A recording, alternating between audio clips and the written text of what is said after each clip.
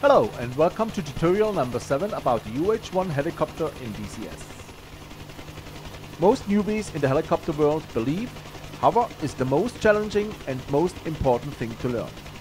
And if you watched my previous videos and followed the advice given, and of course, train a lot, you are already able to hover. But there is still something to say about hovering. How to get into, in the right and easy way, and how to train and improve it. And to be honest, many of you may not follow my advice and instead they are trying to achieve a faster success or at least have instant fun flying around. Therefore, let's start again with some basics. This video may be a review of already explained steps, but this time only focused on how to hover. As mentioned in one of the previous videos, a helicopter is not really unstable, but even more very reactive. Depending on the type of helicopter, he reacts pretty fast, like the Gazelle, or with some delay, like the UH-1. This depends on factors like the rotor system and the total mass that has to be moved, accelerated, decelerated or lifted. So you may compare the Gazelle with a small, overpowered sports car, while the Huey is more a big and bulky pickup truck. Always remember, the major problem hovering a helicopter is over-controlling. It is the pilot who induces rapid changes in flight attitude and altitude and not the aircraft.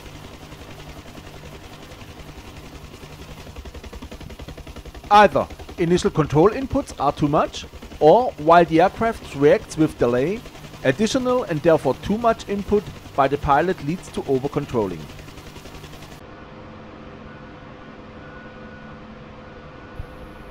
If you followed the advice given in previous videos, you should have already developed a good feeling for your controls. And over-controlling may not be a big issue anymore.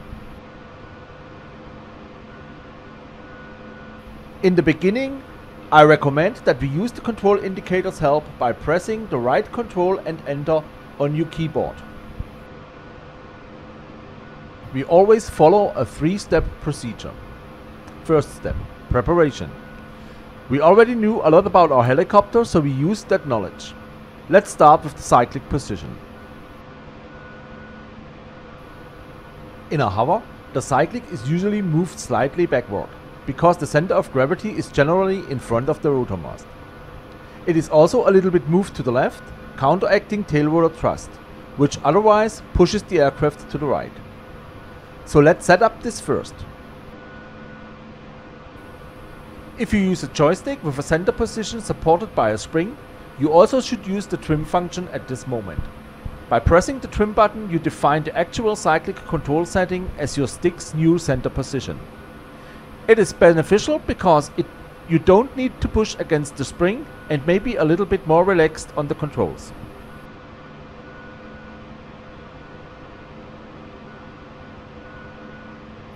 We also knew that to take off from the ground we need a lot of engine power, which produces a lot of torque. This torque will be let the helicopter nose to move to the right, so we counteract in advance by pressing the left pedal.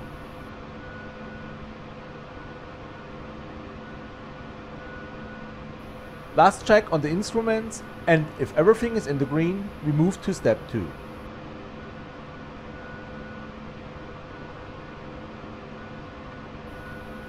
Correction phase. We increase collective, thereby lift, until the weight of the aircraft is close to 100% supported by the main rotor. This reduces the friction between the aircraft and the ground, close to zero, so you can see and feel tendencies.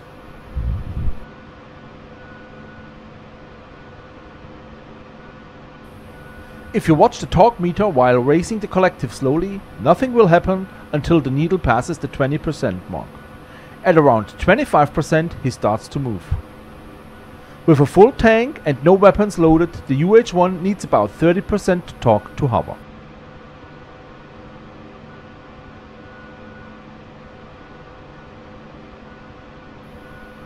If you already pushed too much left pedal, the aircraft would start turn left.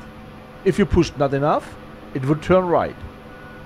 So you correct this while still on the ground, by a power output close to hovering. Also, if your cyclic is not correctly positioned, the aircraft will try to move. So you correct this now, while still on the ground.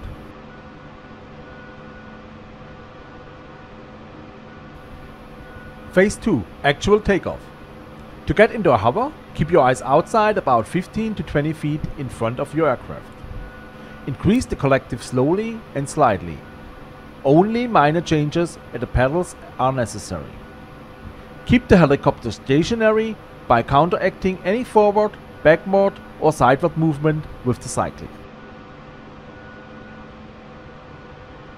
If you have still difficulties thereby, only forward movement is allowed. When at a suitable, stable height, stop moving the collective, no need for significant changes.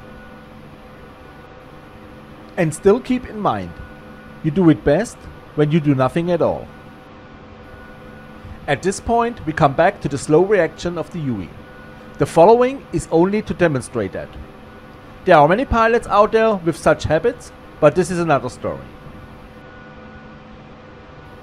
Because the aircraft reacts with delay, you can give constant contradictory inputs and the aircraft is still hovering stable. You just have to make sure that you balance each input with the next one.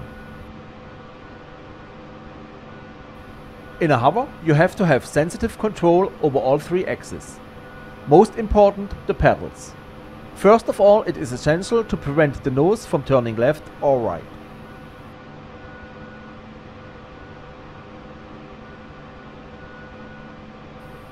An example of what it is all about pedals and why it is so crucial at that moment.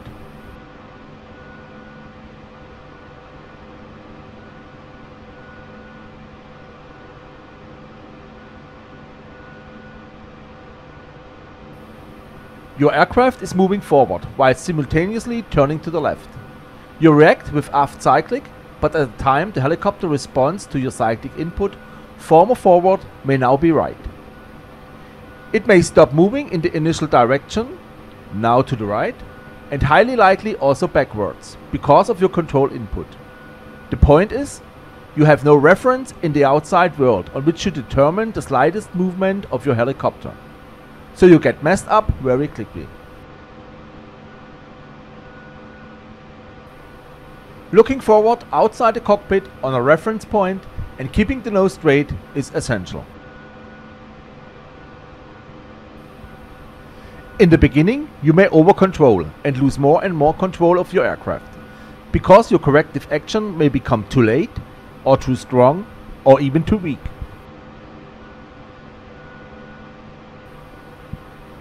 Before you crash because of that constant fight, let him go, if under any circumstances possible, with some forward movement. As I'm said, the helicopter alone does not flip-flop around by himself. So when he stabilized itself, you may start again to bring him back under your will. Just think about it and don't really move your cyclic.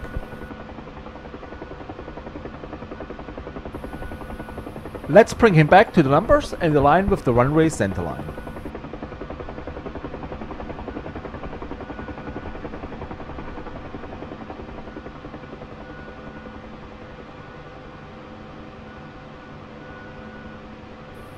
Again, I will show you something that may surprise you. If you follow this tutorial carefully, going to the 3-step procedure while pulling collective carefully to 30% torque, the helicopter will hover by himself. If you add 30% torque, there is only one thing to do. Don't touch anything. Because it is the pilot who causes the trouble. The aircraft may be slowly moving around, but don't get out of control or crashes. Of course, this works only with a zero wind condition. Any strong wind will prevent us from doing that.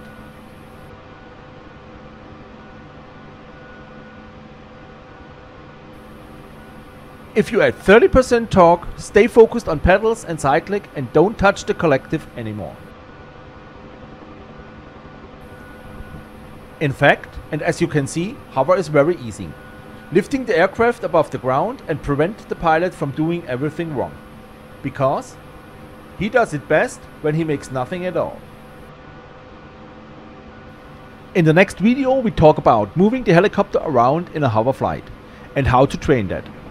Thank you for watching, subscribe to the channel and please give us a like. If you have any questions or comments, please let me know in the comments below. Always happy landings and see you next time.